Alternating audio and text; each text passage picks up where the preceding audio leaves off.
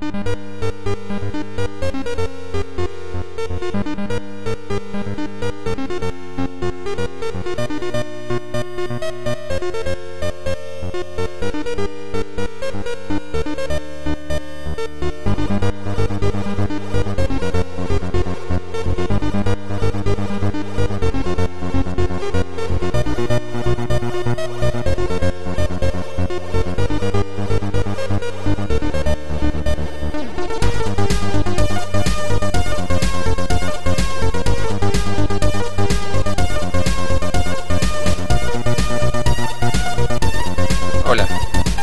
Y te invito a que veas mis videos, en donde te mostraré las ideas e inventos que he estado acumulando a lo largo de los años.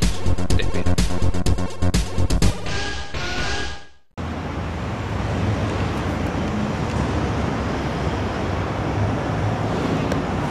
¿Qué tal amigos?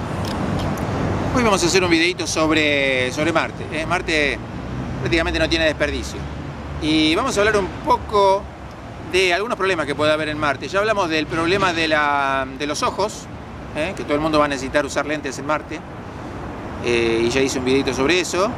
Eh, hablamos sobre el petróleo en Marte, hablamos sobre varias cosas. Hoy vamos a hablar de el peso de la cabeza. El peso de la cabeza. Cuando hacía buceo, hace muchos años, descubrí que era muy difícil mirar hacia abajo.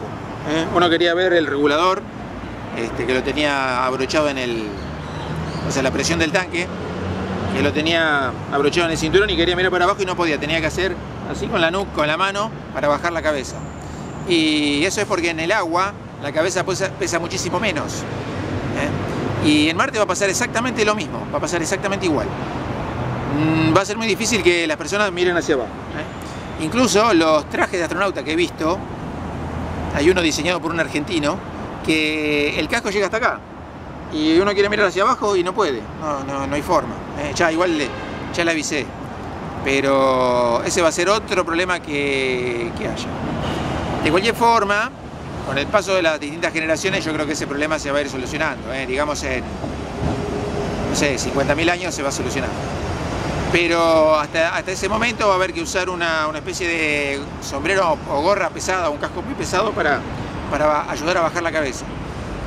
Y después va a haber el otro problema, que los marcianos que vengan a la Tierra van a tener problemas para mirar hacia arriba. ¿eh? O sea, los, los, músculos de la nuca y los, y los, tendones y todo, va a haber que readaptarlos para la nueva, para la nueva situación. ¿eh? Bueno, cortito el video, ¿eh? siempre tengo algún bocadillo sobre Marte y espero que les haya gustado. No olviden darle like, suscribirse, compartir, comentar, darle a la campanita y como siempre les mando un gran abrazo.